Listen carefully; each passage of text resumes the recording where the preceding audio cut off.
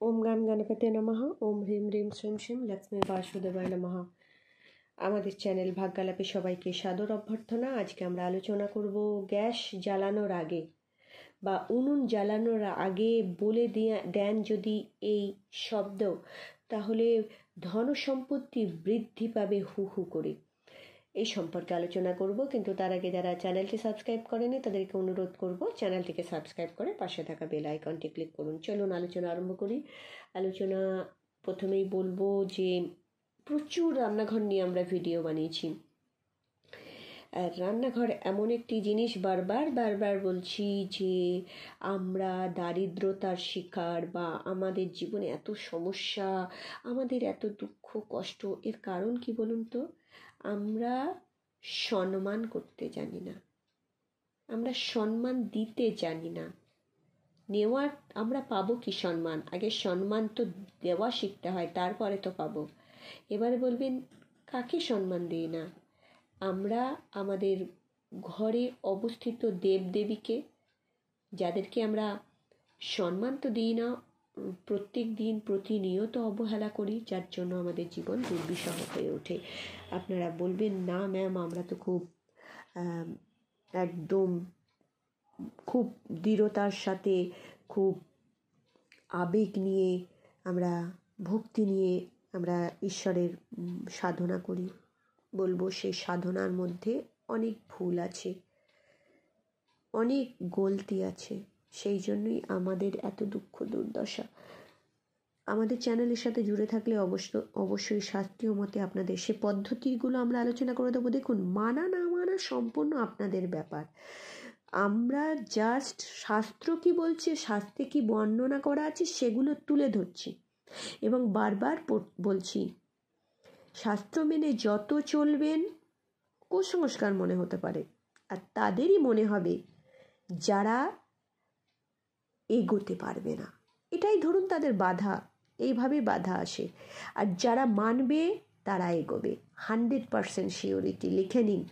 শাস্ত্র কখনো মিথ্যা কথা বলে না। শাস্ত্র মানব জীবনকে সুন্দর করার জন্য রচনা করা হয়েছে। তাই যদি মনে করেন যে আমরা শাস্ত্র থেকে ওই জন্য যখন কোনো কনফিউশন থাকতে পারে, সেরকম কিছু উদ্ধৃত আমরা তুলে দিচ্ছি যে শাস্ত্রে বর্ণনা করা আছে। সেটাও যখন আপনাদের মনে হচ্ছে যে ভুল, এবারে না মানা না মানা আপনাদের ব্যাপার। এত কথা এই জন্যই বলতে হলো, খারাপ লাগতে পারে যে ম্যাম এত বক বক করছেন কেন? এই জন্যই বলতে হয় রান্নাঘরকে সবসময় দেবতার স্থান হিসাবে ঠাকুর ঘরের মতন সম্মান করুন। যেদিন থেকে ঠাকুর ঘরের সমান সম্মান প্রদর্শন করবেন রান্নাঘরকে। সেদিন থেকে লিখে নিন, আপনি সুখ, সৌভাগ্য, ধন সম্পত্তির অধিকারী বা অধিকারিণী হবেন। তাছাড়া কোনো দিনও কিন্তু সম্ভব নয়। বারবার শুধু কান্নাকাটি করে যেতে হবে, নেই নেই নেই নেই করে যেতে হবে। শান্তি কোনো দিনও পাবেন না। তাই বারবার বলছি, রান্নাঘরে স্নান না করে প্রবেশ করবেন না। এক্সকিউজ অনেকের থাকতে পারে। অনেক সকালে উঠতে হয়। কি করব? আমরা স্বাস্থ্যের কথা বলছি। কি করবেন, না করবেন, মানবেন না না মানবেন, আপনার কথা।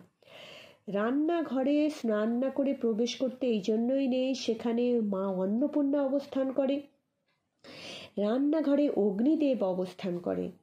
বাস্তুদেব তো সব জায়গাতেই অবস্থান করে। আপনি ঠাকুর ঘরে নিশ্চয়ই স্নান না করে ঠাকুরকে অর্চনা করেন না, পূজা করেন না, তাহলে রান্নাঘরে কেন? এবং রান্নাঘর এমন একটি জায়গা, সবাইকে ঢোকার পারমিশন দেবেন না। আপনার থেকে নিচ মানসিকতার, ভালো করে শুনুন পয়েন্টগুলো নিচ মানসিকতার কোনো মানুষকে, কোনো কুটিলা জুটিলা মানুষকে, কোনো পিএনপিসি করা মানুষকে, কোনো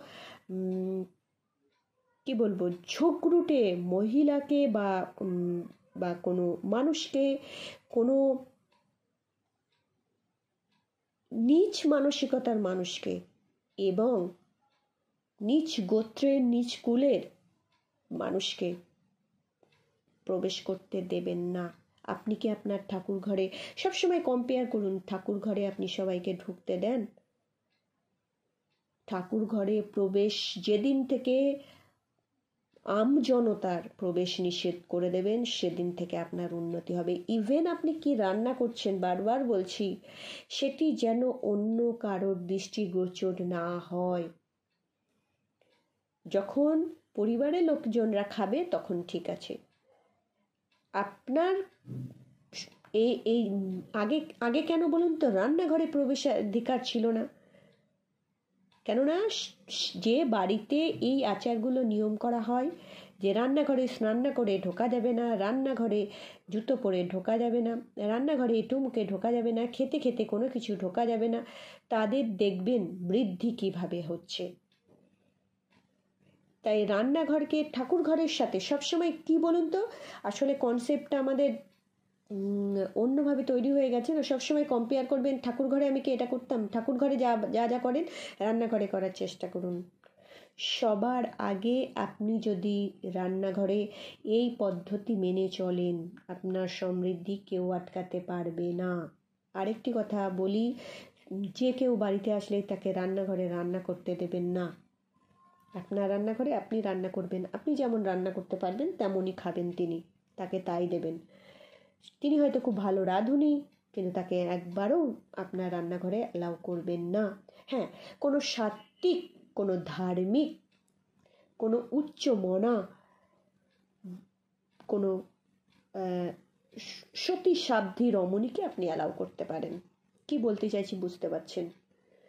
অর্থাৎ যার ভাইব্রেশন যার পজিটিভ ঊর্জা আছে, সেখান থেকে আপনি কিন্তু লাভবান হবেন। কিন্তু কোনো আপ মানে নিচ মানসিকতা বা নিচ মনের মানুষ, তামসিক মনোভাবাপন্ন মানুষকে আপনি অ্যালাউ করলে আপনার সমৃদ্ধির দি এন্ড এবার আপনার ব্যাপার সবসময় পরিষ্কার পরিচ্ছন্ন রাখবেন, যেমন ঠাকুর ঘর রাখেন।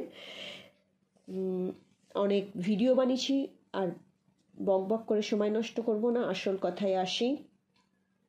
জানি, ভালো লাগবে না। অনেকের ভালো লাগবে না।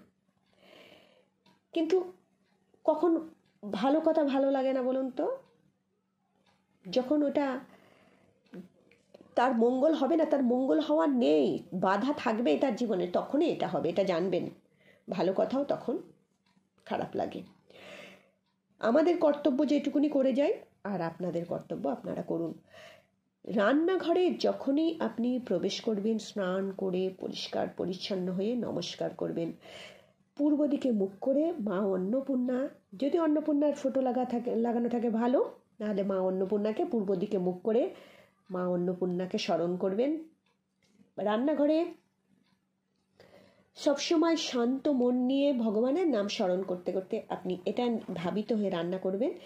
আমি গোপালের জন্য রান্না করছি বা আপনি যে ইষ্টদেবকে রান্না মানেন, তার জন্য রান্না করছি, তিনি এটি পাবেন, তিনি বলবেন, আহা, কি সুন্দর হয়েছে ডালটা, আহা, কি সুন্দর ভাতটা হয়েছে, ঝরঝরে, আহা, তরকারিটা কি ভালো হয়েছে আঙুল চেটে খেতে হচ্ছে, চাটনিটা কি ভালো হয়েছে, আহ, শাকটা কি ভালো হয়েছে, আর চচ্চড়িটা কি ভালো হয়েছে এই বাহ, ভাজাটা, বেগুন ভাজাটা কি ভালো হয়েছে? এইভাবে তিনি আনন্দ পাবেন। এটা ভেবে তার জন্য রান্না করুন, ভোগের জন্য রান্না করছেন, যখনই আপনি ভাববেন না আপনার রান ভোগের মতন অমৃত হয়ে যাবে। আর ভগবান সেটা ভগবানের নাম করতে করতে আপনি সেটা করুন। আর রান্না করার আগে আমরা এর আগেও বলেছি, একটি প্রদীপ মা অন্নপূর্ণার নামে জ্বালিয়ে দেবেন, গ্যাসের পাশে জ্বালিয়ে দেবেন। অগ্নিকাণ্ড ঘটাবেন না, দেখবেন শুদ্ধভাবে রাখবেন ভালোভাবে রাখবেন। একটি প্রদীপ, মাটির প্রদীপ বা যে কোনো প্রদীপ আপনি রাখবেন, পরিষ্কার করে জ্বালিয়ে দিন এবং ওম, এই গ্যাস, বা স্টোভ, বা উনুন, যাই হোক না কেন, আপনি যেটাতে রান্না করেন অগ্নিদেবকে, আগে আপনি কি বলবেন? ওম, আগ্নেয় স্বাহা। ওম, আগ্নেয় স্বাহা। অর্থাৎ আপনি যজ্ঞ করলেন, হাবান করলেন, সমস্ত কিছু আপনি যজ্ঞাহতি দিলেন, সেটি শুদ্ধ হয়ে গেল, আপনার রান্না সব শুদ্ধ হয়ে যাবে। দ্বিতীয় নাম্বার, আপনি কি করবেন? অগ্নিদেবকে স্মরণ করে করলেন, যেই অগ্নিদেব আপনাকে রন্ধন কার্যে সহায়তা করে, যেই অগ্নিদেব অপবিত্র জিনিসকে পবিত্র করে দেয়। আপনার মধ্যে এই যে সাত্ত্বিক ভাব, এটি থেকেই কি আসবে? আপনার মধ্যে দেখবেন সমৃদ্ধি আসবে। আরেকটি কথা বলি সাত্বিক শুদ্ধ আহার, শুদ্ধ মনের পরিচায়ক, সমৃদ্ধির সৌভাগ্যের পরিচায়ক। যেমন খাদ্য যেমন অন্ন, তেমন মন, যেমন পানি, তেমন বাণী শাস্ত্রে বর্ণিত আছে। তাই অবশ্যই শুদ্ধ সৎ মানে সাত্বিক আহার ভোজনের চেষ্টা করুন, ভগবানের নাম করে রান্না করার চেষ্টা করুন এবং অগ্নি প্রজ্বলন করার আগে অবশ্যই নমস্কার করে আপনার যে অগ্নিকুণ্ড সেটাকে নমস্কার করে ওম আগ্নেয় স্বাহা বলুন। জীবন চেঞ্জ হয় কিনা?